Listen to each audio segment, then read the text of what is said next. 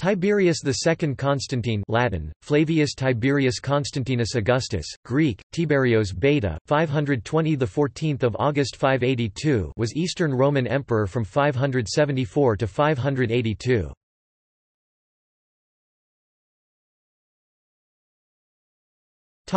Early career Born in Thrace in the mid-6th century, Tiberius was appointed to the post of notarius. There, sometime after 552, he was introduced by the Patriarch Eutychius to the future emperor, Justin II, with whom he became firm friends. Under Justin's patronage, Tiberius was promoted to the position of Comes Excubitorum, which he held from approximately 565 through to 574.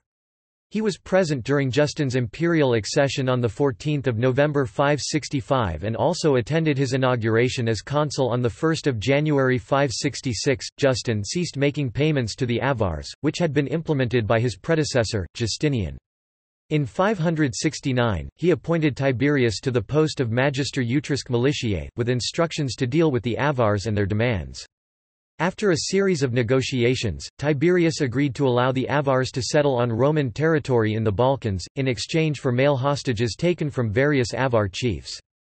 Justin, however, rejected the agreement, insisting on taking hostages from the family of the Avar Khan himself. That condition was rejected by the Avars and so Tiberius mobilized for war.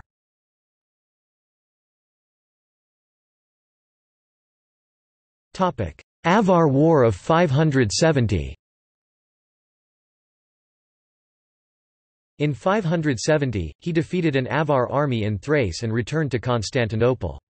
While attempting to follow up that victory, however, in late 570 or early 571, Tiberius was defeated in a subsequent battle in which he narrowly escaped death, as the army was fleeing the battlefield. Agreeing to a truce, Tiberius provided an escort to the Avar envoys to discuss the terms of a treaty with Justin. On their return, the Avar envoys were attacked and robbed by local tribesmen, prompting them to appeal to Tiberius for help. He tracked down the group responsible and returned the stolen goods. In 574, Justin had a mental breakdown, forcing Empress Sophia to turn to Tiberius to manage the empire, which was fighting the Persians to the east and dealing with the internal crisis of the plague.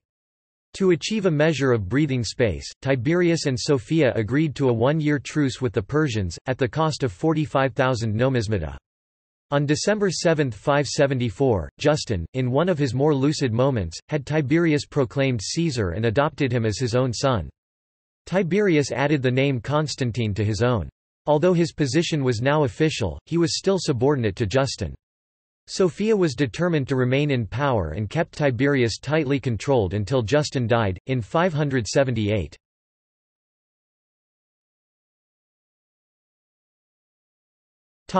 Elevation as Caesar 574 to 578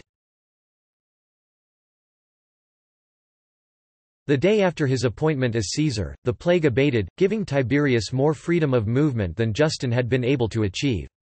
Tiberius also charted a very different course from his predecessor and proceeded to spend the money that Justin had doggedly saved in order to defend the imperial frontiers and win over the populace who had turned against him. According to Paul the deacon, Tiberius found two treasures, the treasure of Narses and 1,000 centenaria, 100,000 pounds of gold or 7,200,000 solidi nomismata, under a slab. The treasures were given away to the poor, to the consternation of Sophia, alongside generous donations. He also proceeded to reduce state revenue by removing taxes on wine and bread instituted by Justinian I. He continued the official ban on the sale of governorships, which was highly popular. He also negotiated a truce with the Avars, paying them 80,000 nomismata per year for which the Avars agreed to defend the Danube frontier, thereby allowing Tiberius to transfer troops across to the east for a planned renewal of the conflict against the Persians. In 575, Tiberius began moving the armies of Thrace and Illyricum to the eastern provinces. Buying time to make the necessary preparations, he agreed to a three-year truce with the Persians, paying 30,000 nomismata, though the truce excluded action in the region around Armenia. Not content with making preparations, Tiberius also used this period to send reinforcements to Italy under the command of Baduarius with orders to stem the Lombard invasion. He saved Rome from the Lombards and allied the empire with Childebert II, the king of the Franks, to defeat them. Unfortunately, Baduarius was defeated and killed in 576, allowing even more imperial territory in Italy to slip away. Tiberius was unable to respond as the Sassanid Emperor Khosrau I struck at the empire's Armenian provinces in 576, sacking Melitene and Sebastia. Shifting his attention eastward, Tiberius sent his general Justinian with the eastern armies to push the Persians back across the Euphrates. The Byzantines followed, and pushed deep into Persian territory, culminating in a raid on Atropatene. In 577, however, Justinian was defeated in Persian Armenia, forcing a Byzantine withdrawal. In response to that defeat, Tiberius replaced Justinian with the future Emperor Maurice. During the truce that Tiberius concluded with Khosrau, he busily enhanced the army of the East not only with transfers from his western armies but also through barbarian recruits, which he formed into a new foederati unit, amounting to some 15,000 troops by the end of his reign. Throughout 577 and into 578, Tiberius avoided all other entanglements that would have distracted him from the approaching Persian conflict. He appeased, quite successfully, both Chalcedonian and Monophysite Christians by the use of strategic appointments and the easing of persecutions. He paid the Lombard tribal chieftains some 200,000 nomismata in an attempt to keep them divided and to prevent the election of a king. When the Slavs invaded Illyricum, he transported Avar armies to attack them and force their retreat. Consequently, when Khosrau invaded Roman Mesopotamia in 578, his general, Maurice, was able to invade Persian Arzanene and Mesopotamia, sacking a number of key towns and forcing the Persians to abandon their advance and defend their own territory. It was during that period that the ailing emperor, Justin, finally died in early October 578.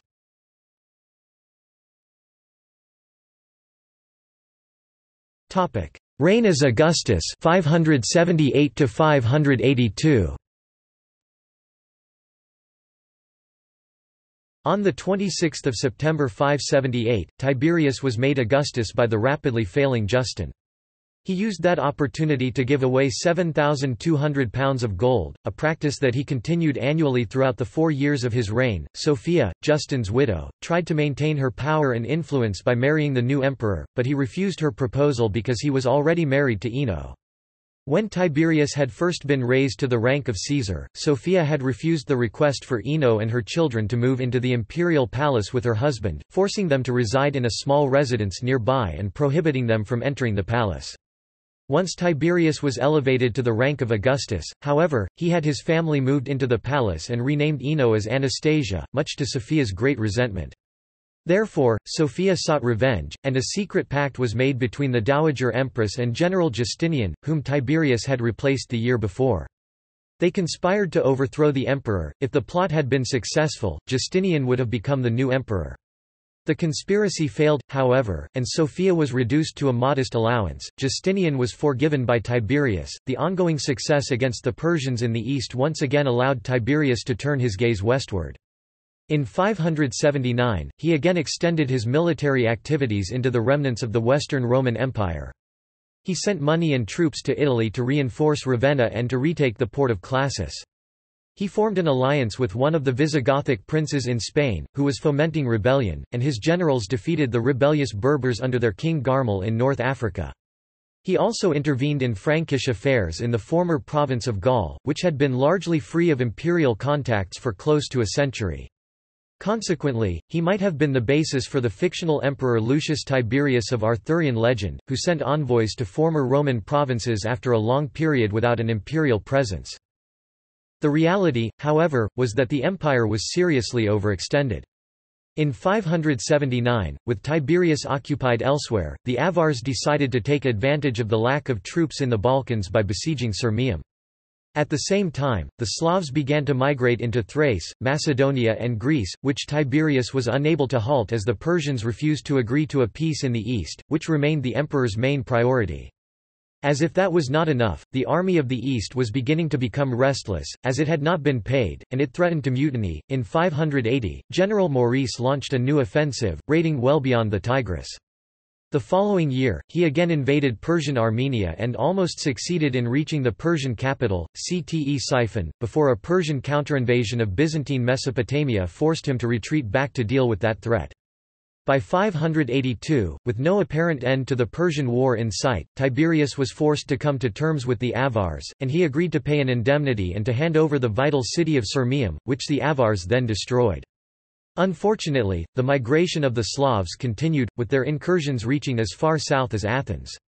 Although a new Persian invasion was halted with a significant defeat at Constantina in June 582, by now, Tiberius was dying, apparently having eaten some poorly prepared or possibly deliberately poisoned food. In his state, Tiberius initially named two heirs, each of whom married one of his daughters. Maurice was betrothed to Constantina, and Germanus, related through blood to the great emperor Justinian, was married to Charito. It appears that his plan was to divide the empire in two, with Maurice receiving the eastern provinces and Germanus the western provinces. This plan was never implemented, and on 13 August 582, he elevated Maurice to the rank of Augustus. Tiberius died on the following day, 14 August 582, and his last words were spoken to his successor, Let my sovereignty be delivered to thee with this girl. Be happy in the use of it, mindful always to love equity and justice.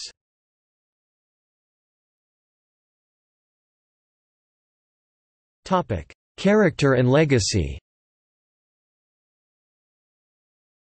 A native of the Latin-speaking part of Thrace, Tiberius was nonetheless distinguished as the first of the Greek-speaking Caesars by Edward Gibbon, who cited the 13th-century Syriac Orthodox patriarch and writer Bar Hebraeus. Tiberius reportedly was tall and handsome, with a regal bearing. He was gentle and humane, both as a man and a ruler, with a reputation for generosity. Unlike his predecessor, he largely refrained from persecuting his Monophysite subjects, but his Arian subjects in the West did not fare as well. He also spent a good deal of money on building projects, most notably the continued expansion of the Great Palace of Constantinople. According to Gibbon, Tiberius II was a good emperor. With the odious name of Tiberius, he assumed the more popular appellation of Constantine, and imitated the purer virtues of the Antonines. After recording the vice or folly of so many Roman princes, it is pleasing to repose, for a moment, on a character conspicuous by the qualities of humanity, justice, temperance, and fortitude, to contemplate a sovereign affable in his palace, pious in the church, impartial on the seat of judgment, and victorious, at least by his generals, in the Persian War. The most glorious trophy of his victory consisted in a multitude of captives, whom Tiberius entertained, redeemed, and dismissed to their native homes with the charitable spirit of a Christian hero. The merit or misfortunes of his own subjects had a dearer claim to his beneficence, and he measured his bounty not so much by their expectations as by his own dignity. This maxim, however dangerous in a trustee of the public wealth, was balanced by a principle of humanity and justice, which taught him to abhor, as of the basest alloy, the gold that was extracted from the tears of the people.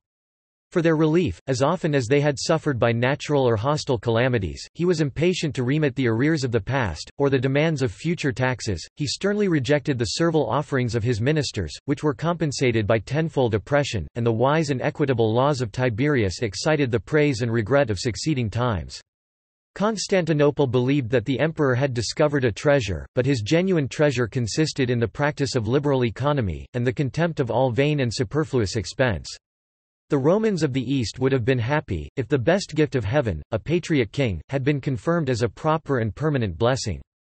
But in less than four years after the death of Justin, his worthy successor sunk into a mortal disease, which left him only sufficient time to restore the diadem, according to the tenure by which he held it, to the most deserving of his fellow citizens. That opinion was not shared by John Bagnall Bury, who commented, But though he might have made a very good minister of war, Tiberius did not make a good emperor. It was natural that his first acts should be reactionary, as Justin's government had been extremely unpopular. He removed the duty on the political bread and remitted a fourth part of the taxes throughout the empire. Had he been contented with this he might deserve praise, but he began a system of most injudicious extravagance. He gratified the soldiers with large and frequent augustatica, and he granted donations to members of all the professions scholastics or jurists, a very numerous profession, Physicians, silversmiths, bankers. This liberality soon emptied the treasury of its wealth. The result was that by the end of the first year of his reign he had spent 7,200 pounds of gold, besides silver and silk in abundance, and before he died he was obliged to have recourse to the reserve fund which the prudent economy of Anastasius had laid by, to be used in the case of an extreme emergency. And, notwithstanding these financial difficulties, he laid out money on new buildings in the palace. The consequence of this recklessness was that when Maurice came to the throne he found the exchequer empty and the state bankrupt. There is considerable reason, I think, to remove Tiberius from his pedestal.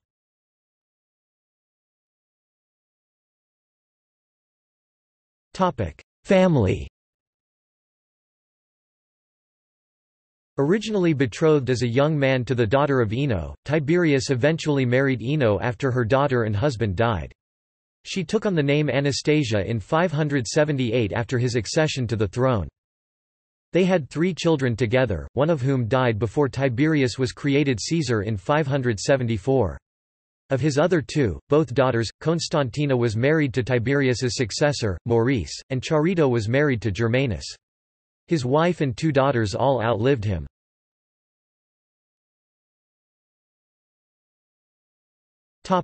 See also List of Byzantine emperors